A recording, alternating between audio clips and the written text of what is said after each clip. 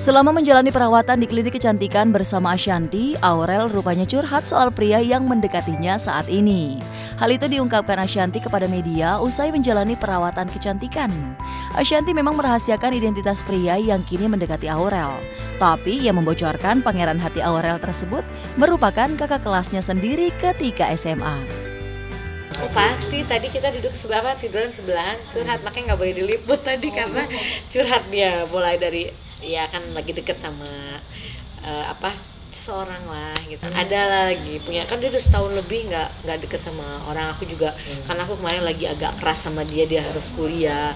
Tiba-tiba deket dulu kakak kelasnya dia gitu. Iya kalau kalau sama bunda emang kalau kita mau kayak mau apa rawat kecantikan gitu-gitu emang sama berdua. Udah sering sih kalau pergi pergi berdua gitu facial facial gitu